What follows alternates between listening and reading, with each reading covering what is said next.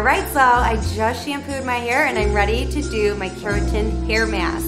This mask is gonna help my hair feel healthy and strong. So first you're gonna apply a healthy amount root to end through your hair.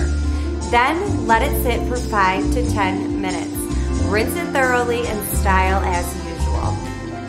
I just finished up using my keratin hair mask and I'm so excited. My hair is feeling so shiny and so strong.